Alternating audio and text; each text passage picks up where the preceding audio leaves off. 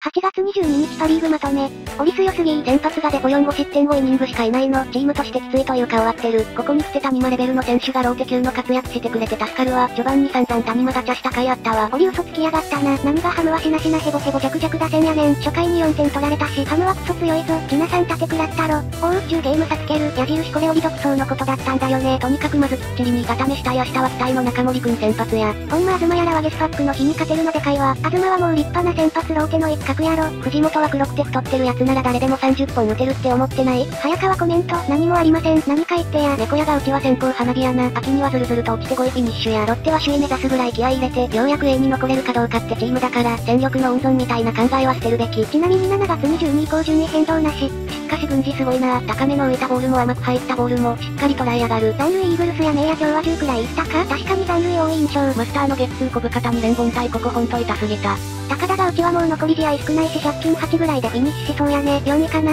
?5 位かな？楽天もブレーキしてるからなんとか3位で踏みとどまるやろ。もう順位変わることないやろ。ロッテ、高、楽天は100クルあると思う。オリックスってマジックはいつつくんやろ。今週末ロッテ戦やからそこでつきそう。デスパとアスプとガルビスとホーキンスを生贄に捧げたらラヘアぐらいにならんかな。最後に休養日にしてた松原を出すあたり藤本もお笑いを分かってるわ。悪いこと言わんから今から半端のコーチの面接受けとけ。楽天がバンク捉えるビジョンが見えないな。今日の試合を見る限り。しかし今年はオリ以外はほんまにあかん年やったね。世界恐慌の時ぐらい全チーム願ってたわ。吉井が石川と二木に遅すぎるって切れてて草生えたわ。マジで先発苦しいやろしな。種市メルセアとギリオジマだけやろ計算できるの。吉井ってかなりイライラ来るタイプだから多分高部、石川、二木にはブチ切れてると思う。次はともかくとして二木もまだ、戦力として期待はされとるんやな。正直ファンの半数は二木に見切りつけてそうな気がするわ。5試合に1回くらい素晴らしい二木が当たるから、鈴木康平系鈴木移籍後初勝利。楽天クリニックを見たか、しなしなだったロッテもハムもあっちあっちにしてみせたぞ。唐島やマー君でクリニックされるならまだしも、則本や早川でクリニックされると精神的に参るからやめてください。若い奴が活躍すると気持ちええわ3級やで中日さん。軍事マジですっぽいわ。まあ折り線の凡退悔しかったんやろな。明日中森先発らしいねかもめさんは。せやで明日のお天気だけが心配だわ。しかし負けてる時のビハインド連中はほんまようやってるわ。武田と又吉が綺麗に火消ししてくれる。なおかつパータウラもついにやられたのはね。まあ負けパやしな。とはいえ田浦に関しては抑えてる時も左つくっそ悪いから、勝ちパになるにはまだまだよ。明日の友高にかけるしかねえな。明日の友高、ちょっとでも悪いと3回ぐらいで交代して藤井と交代させるんじゃねえそんな余裕あるんけ？余裕があるとかじゃない。首脳陣が我慢できないんや。よくある話や、若手は少しでもダメなら中継ぎをつぎ込むんや。楽天相手に行ってたら足救われるぞ。今の楽天のピッチャーはほんま参考記録や。今のあそこの先発に勝ちついたら、ほんまやばいこと起こると思うで。最後に先発勝ちついたの。先々週の騎士完封勝ちが最後やし。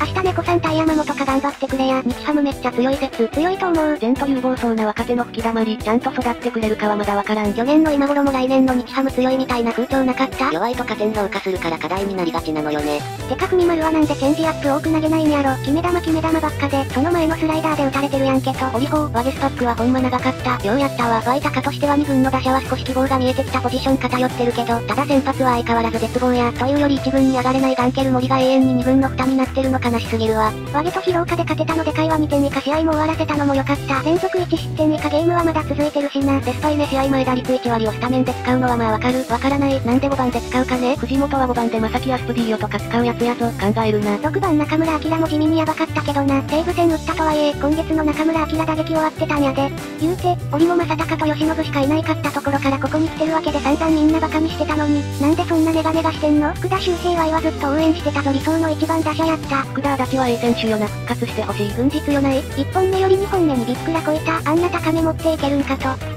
早川も競合したのにバックとして完成したからな。ほんまあの球団の一定力すごいですわ。宮城、早川、伊藤が同列扱いされてる時期あったよな小声。ほんま真ん中の人だけが違いすぎる。実際あの年はまあ同列でもおかしくはなかった。ちなみにホークスで一番打ってない打順は5番。その次は6番や。この2つなんと、ほぼ開拓也が打ってる9番より OPS が低い。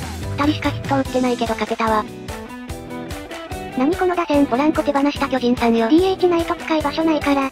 名称藤本さん続投は11球団の総意。藤本さえ辞めれば全てがうまくいくと思ってるそこのお前藤本辞めてからが暗黒の始まりや。ロッテは謎に打てないってずっと言われてるけど、本当にヤバいのはピッチャーだってあれほど。ハムはエスコンだと強いわ。地直りも負け越し前提で計算してんのが大半。まず噂は打てないしな。奈良間も地味にかなり良いから、1奈良間に軍事はかなり強そう。上川端は今日打ったけど、7番あたりで良いと思うんだよな。どっかで得失点差見たけど、オリダントツプラスで高が B プラス、それ以外マイナスだったからまあ、カモメさんは勝ち方がうまいんじゃろ。高の場合は負けパがとにかく優秀。試合捨てたタイミングで出てきて、そこから失点しないから得失点差の見栄えはいい。そこ勝ちパにすればいいのではしないんだよ。言うて増田とか30セーブ超えとるんやろ。ざっくり投手が悪いなんて言い方はどうやろ。なお防御率、今月だけで5点取ったのに負けた試合が4つもあるのは普通にヤバいで、ベルニーお疲れなんよ。ハムが最下位なのは正直よくわからん。戦力的には2位相当やろ。守備がね、実際、この調子なら来年は A 目指せると思う。リリーフ補強してほしいな。ハムファンっていつも噂はに文句言ってるイメージなんやが、成績見たら普通に良いやん。悪い時が悪いのよね。ロッテは去年後井足吉監督の初年としては、このままいければ御の字かな。仮に怪我人が少なくても、今年のオリックスに届くかわからんし。こう見ると絶対中島監督オリックスの監督辞めても、毎年いろんなところの監督やコーチ候補の報道流れるんやろな。得失点差、オリ68、カモメマイナス7、タカ18、ワシマイナス47、猫マイナス42、ハムマイナス5、新庄さハムなんでこんな負けてるんだこれ。オリックスえげつないな。吉井の名称ポイント高すぎやん。ハムはエラー減らすだけで A クラス余裕だろこれ。